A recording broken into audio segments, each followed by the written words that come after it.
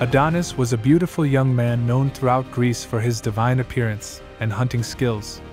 He possessed smooth, tan skin and dark hair, as well as piercing eyes. He became known for his great physical attractiveness, which made several women feel a strong attraction to him. His story begins when Myrrha, daughter of Cinyras, king of Cyprus, was cursed by the goddess Aphrodite, because, since she was a child, her parents boasted that her beauty surpassed the goddess of love herself. As punishment, she made Myrrha feel a strong attraction for her own father. Uncomfortable with the feelings she carried in her chest, she struggled to try to suppress her feelings to the point of attempting to take her own life. But her wet nurse made her desist from that idea. Over time, the feeling of desire for her father grew even more, leading her to execute a plan to seduce him without him noticing.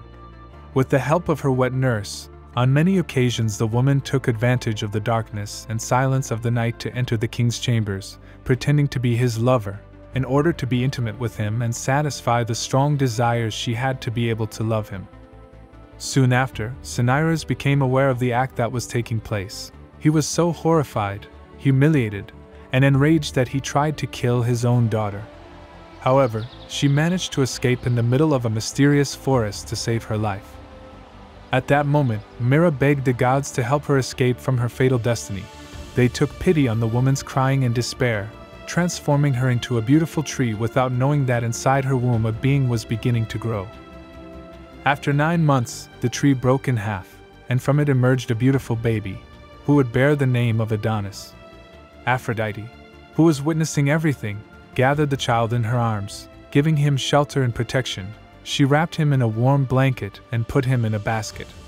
Seeing how beautiful he was, she decided to go to the underworld to entrust the infant to Persephone to watch over and care for him in order to hide him and later have him as her lover. With time, Adonis became a handsome and athletic young man. His beauty was unequaled, like no other being. His beauty attracted the queen of the underworld herself, who assumed the role of mother for many years. Persephone refused to return Adonis to Aphrodite, which created a dispute between the two women.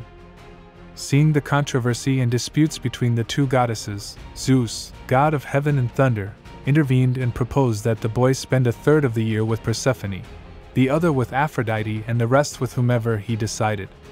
The only condition was that the goddess of love should not wear her belt, which made her an irresistible woman to any man. Aphrodite immediately broke the agreement and made the boy go crazy with love for her. The attraction was so strong that the young man forgot the time he would have to spend with the goddess of the underworld. Thus, together, they began a passionate relationship. Their love was so pure that Aphrodite dared to teach him the secrets of love and passion, something that would leave him even more in love.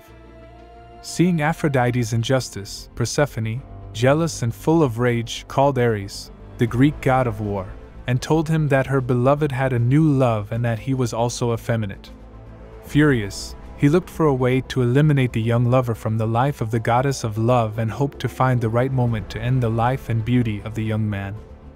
One day, the slender young man decided to go out into the forest to hunt, as it had been one of his favorite pastimes since he was a child.